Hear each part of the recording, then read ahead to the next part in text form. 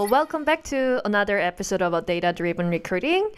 I'm Sophia Beck, and I'm joined by by my co-host Tigran Sloyan. Hi. All right. So today we're talking about candidate experience. How do you ensure great candidate experience when doing data-driven recruiting? And the reason this topic is so important is that in many cases, uh, candidate experience gets really hurt when companies start to go beyond resumes, start using data, and start using assessments to really validate skills. So the there are more layers and formal structures around the interview process. And when we do that, when we're designing that entire interview process, mm-hmm. we have to think about what does that mean from the candidate perspective. So I'm really excited to talk about this topic because last week we talked about how to design a great interview process in general. Mm-hmm. So this is a critical to kind of add on to that. Exactly, exactly. So I've seen so many times when you know the recruiting team would say, "All right." Uh, uh, let's say the hiring manager is an engineer hey we need to start like going beyond resumes can we design an assessment can we build an assessment into our process just so we're not just uh, you know using our judgment on resumes to uh, decide who goes forward, who doesn't. Mm-hmm. And then what happens is sometimes the hiring managers would design an assessment that's like three hours long, four hours long, five hours long, like a take home project that lasts for three days, uh, where the candidate hasn't even had like first or second interviews with the company.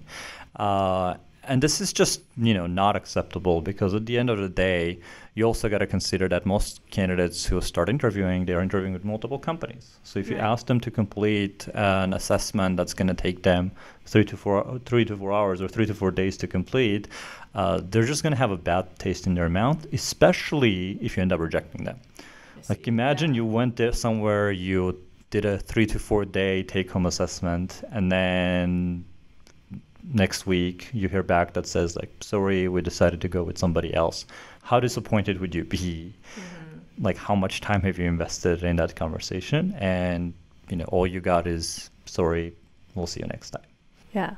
So um, how what what's the kind of the main thing that we need to remember when we are thinking about designing the test and interview process with a candidate experience in mind is that the length mostly, or is that also the frequency, how often, mm-hmm. or how many tests?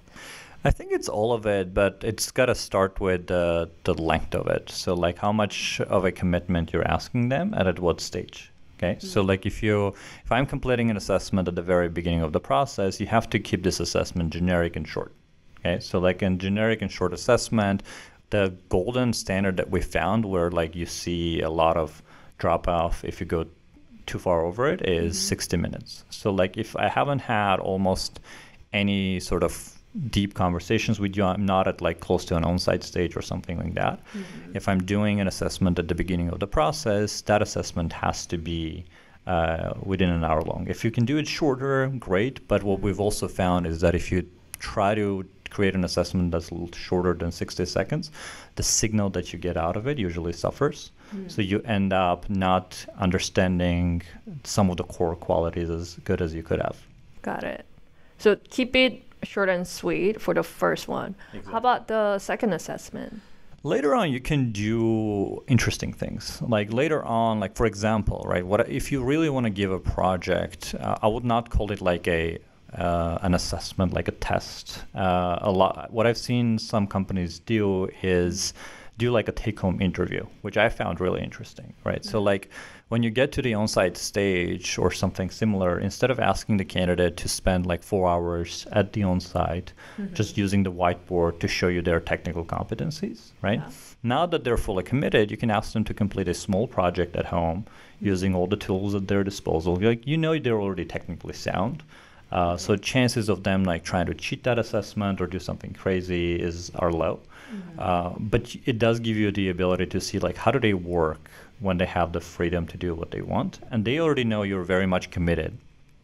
From here on, the chances of them actually getting hired are pretty high because uh, most of the baseline things have been verified, right? Yeah. So they might be excited to show their creativity, their approach, mm-hmm. and spend a couple of hours at home preparing a take-home challenge, mm-hmm. and then uh, like a take-home you know project and then coming in and talking about it with the team which also simulates kind of an environment in which like that's how work happens right like there's something to do you go do it and then you come discuss it with your team members and show what you've done yeah instead of uh, having somebody looking over your shoulder while you're doing work that's not and yeah. on the whiteboard most important right right yeah you need your tools to make it more comfortable and then do it i cannot even type without the autocorrect so Exactly. like i can only imagine the engineers trying to code with on, a on the whiteboard yeah. yeah. Those squiggly brackets I can never do. I've, I remember the times when I was asked to do an interview and code on the whiteboard. I was like, how on earth do you do those squiggly brackets, which are very common Yeah. on the whiteboard? So, what are some of the ways that also you can tell whether, let's say, we followed, you know, I am designing on an interview process, and then I follow your advice, mm-hmm. make, make the first one short, like 60 minutes, and then the second one a little more interesting project. Mm-hmm. But how do I know really that this will give the candidates a good experience? Like, is there any way of measuring that since it's a data-driven recruiting? Of course. Uh, you collect feedback. I think one of the key things that's missed a lot is like as soon as the assessment is done, mm-hmm. you want to be have some built-in mechanism. Ideally, the tool that you're using to do this assessment has some sort of a built-in mechanism to ask for feedback straight mm-hmm. away. And why straight away? Because like the feedback is fresh in the candidate's mind, uh-huh. and it's also less biased because like if you ask them for feedback let's say after you rejected them or after you told them they're moving forward Yeah. uh, if you told them they're rejecting them their view of your assessment is going to drop instantly Uh-huh. and the other way around if you tell them that they did well they're going to move forward they're just going to bias it towards being more positive whereas if you ask them straight when they came out of the assessment they're far more likely to give a more or less realistic view and you also want to split your question about feedback on the candidate side, both for like, what did you think of the question itself, mm-hmm. and also what do you think of the environment or the setup in which you were asked to complete this, just so you can separate that signal and make sure that you can optimize each one mm-hmm. depending on what kind of feedback you receive. Got it.